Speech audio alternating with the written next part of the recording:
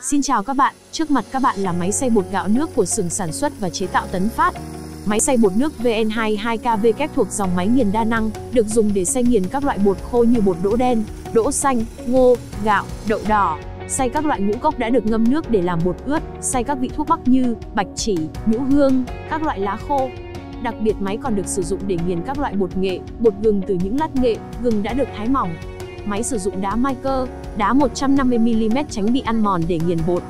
Hai mặt đá này có vai trò như hai mặt của chiếc cối xay truyền thống. Trong đó một mặt tĩnh và một di chuyển, khi vận hành thì mặt di chuyển xoay vòng với tốc độ cao để nghiền mịn bột. Do đó, máy sẽ giữ được tuổi thọ rất lâu mà giảm thiểu được tình trạng đá quá mòn phải thường xuyên mất tiền thay linh kiện.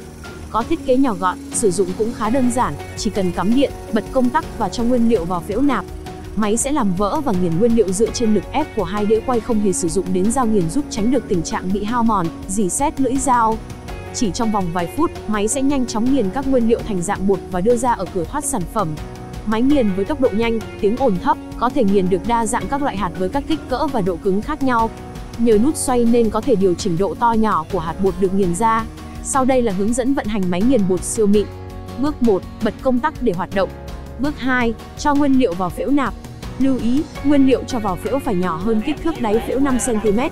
Đổ nguyên liệu cần xay vào phễu nạp liệu. Bước 3, điều chỉnh độ mịn cho nguyên liệu bằng cách vặn núm xoay, nếu muốn nghiền mịn, ta vặn núm xoay ngược chiều kim đồng hồ.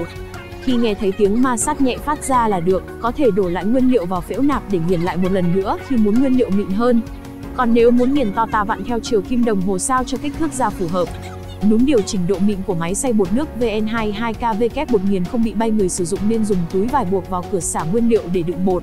Cửa thoát sản phẩm sau khi xay của máy. Bước 5, sản phẩm đầu ra sau khi nguyên liệu đi qua máy xay ngũ cốc.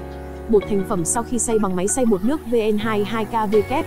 Chú ý, muốn nghiền nguyên liệu ướt để làm bánh, người tiêu dùng nên ngâm nguyên liệu ít nhất 30 phút thì mới tiến hành bỏ vào máy để nghiền.